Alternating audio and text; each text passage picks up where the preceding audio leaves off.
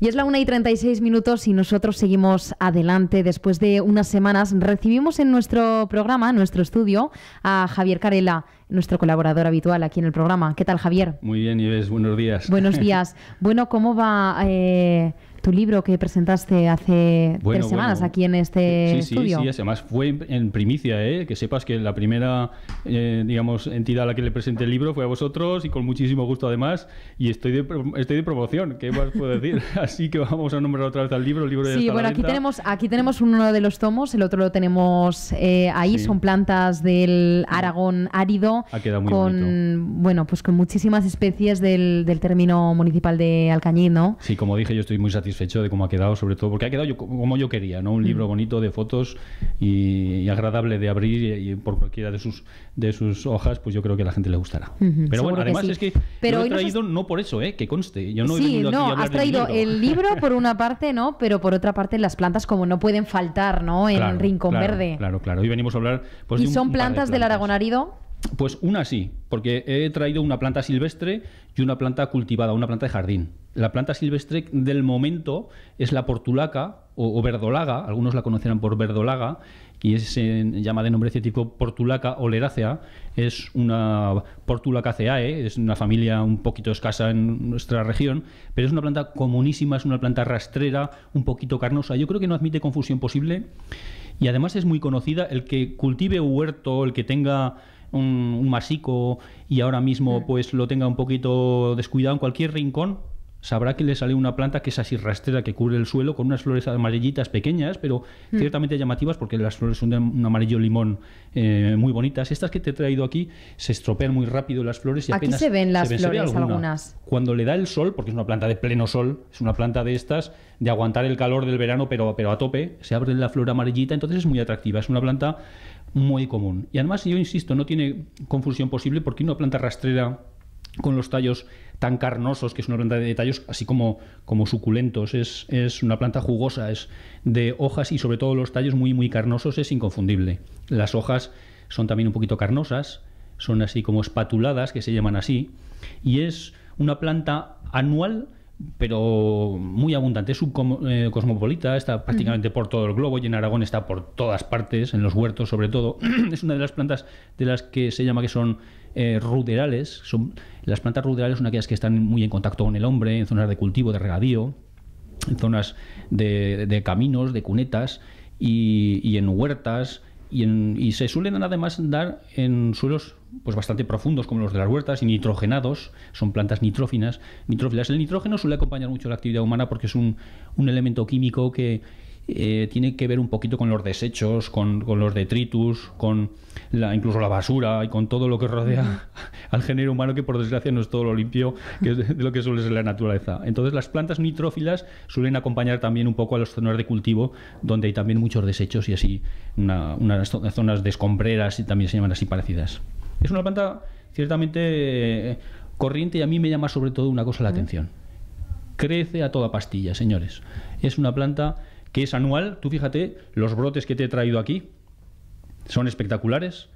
Pues esta planta tiene menos de cuatro meses. En cuatro meses alfombra a lo mejor un par de metros cuadrados. Si tiene suerte y cae en un rincón del huerto donde ese año no haya nadie que haya puesto ahí el pie, y le pasa a lo mejor la fila, como se suele llamar aquí en, en Alcañiz, le pasa la fila por al lado, es una planta que, se la ve crecer, es una planta de crecimiento espectacular y muy, muy llamativo para lo que suele ser una planta anual, sobre todo por lo carnoso y lo jugoso de las, de las hojas. Es una planta que tiene un componente que se llama mucílago, que es así como muy, muy pastoso, tiene que es como, un poquito viscoso.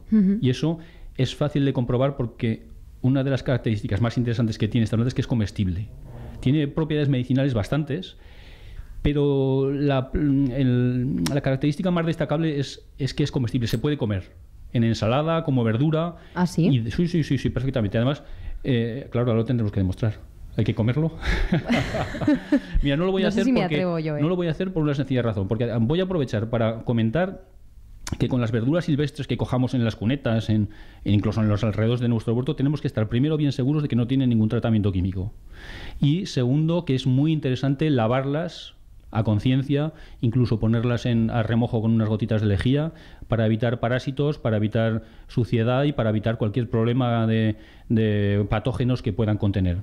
Eso es una norma básica que cualquiera que sea aficionado a las verduras silvestres, que ahora están muy de moda, consumir verduras silvestres, recolectarlas en el campo, pues hay muchas, las tienen las collejas, las tucas, se debería hacer eh, siempre, el desinfectarlas y tener en cuenta que nuestros estómagos ahora se han puesto eh, como muy blandengues, ya no tenemos los mismos estómagos que nuestros abuelos y ahora mismo nuestras aguas están potabilizadas y la flora intestinal eh, deja un poquito que desear. La tenemos muy blandengue. Todo vuelve, ¿no? ¿Qué nos pasa cuando viajamos a algunos países por ahí?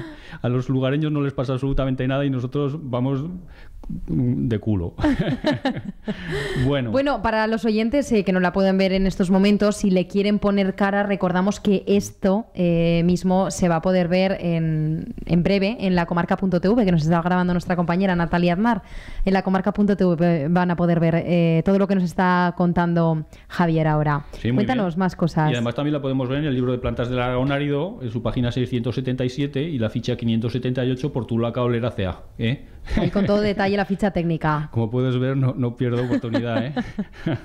y la otra planta que un ¿Y la otra planta más colorida? Es la Lagestroemia indica, que es una planta, yo digamos que es la planta estrella o el arbusto árbol, arbolito pequeño de, jardín estrella del verano. Es una planta magnífica, es una planta de floración veraniega que tiene mm, sobre todo las de color rosa fuerte, como esta que te he traído, también las hay de color rosa pálido, las hay de color blanco y está en plena floración en, el, en, lo más caluroso del verano, que no nos equivoquemos, no suele ser muy corriente. En pleno verano no hay muchas plantas mm, en flor. Tenemos la delfa, sí, tenemos la abelia floribunda, ya para los un poquito entendidos, eh, podemos disfrutar de algún rosal que otro, pero más allá de estas otras tres, no hay ningún arbusto, árbol que se atreva a florecer en lo más caluroso del verano, que ya hemos podido comprobar que puede ser muy duro. La, la gerstroemia indica, o árbol de Júpiter, que se llama así, además tiene un nombre, un nombre precioso, el árbol de Júpiter, es una planta, un arbusto grande, un arbolito, se le puede podar muy bien y formar un arbolito precioso, que no, no da ningún problema sanitario, no suele ser niquitoso en absoluto, eso sí agradece mucho los abonos, agradece mucho los suelos fértiles, apenas tiene problemas sanitarios, si la mojamos en exceso puede tener un poquito de oído, pero nada más. Soporta el frío magníficamente y es muy muy sencilla de cultivar en nuestro jardín y muy agradecida porque además está en flor en el mejor momento del año para poder disfrutarla, que es cuando nosotros o en vacaciones o en verano nos vamos a nuestra piscina y tenemos al lado los mm. arbustos, ¿eh? que mejor que buscar este tipo de arbustos que al lado de la piscina nos decoran un poquito. ¿eh? Y la lagestromia cumple este papel a la perfección. Es uno de los arbustos que yo suelo recomendar mucho cuando empiezan los clientes a poner plantas en primavera o en el mes de febrero. Y es una cosa muy curiosa porque soporta el frío como ninguna otra pero le cuesta muchísimo brotar. Y en invierno tiene un aspecto Al de contrario que la otra. Sí, en invierno tiene un aspecto de sarmiento seco que no hay quien lo, quien lo mire. Bueno, de todas formas es un, arbusto que no necesita especial atención. No, no, no, en absoluto. Ah, eso sí, esta no es comestible, ¿no? No, esta no se puede comer. Esta no es comestible. no vamos a confundir al oyente, ¿verdad? Bueno, pues eh, dos tipos de plantas diferentes que además también pueden encontrar su ficha técnica aquí en estos eh, tomos de plantas del Aragón árido que, ha publicado recientemente eh, Javier. Javier, muchísimas gracias y nos vemos la semana que viene. Aquí estaré. Muy bien. Bueno, pues la semana que viene tiene una cita porque Javier Carela va a presentar eh, su libro, va a ser el día 3 de septiembre, se lo vamos a, contar, lo seguiremos desde aquí. Nosotros de momento eh, vamos a hacer una pausa para publicidad.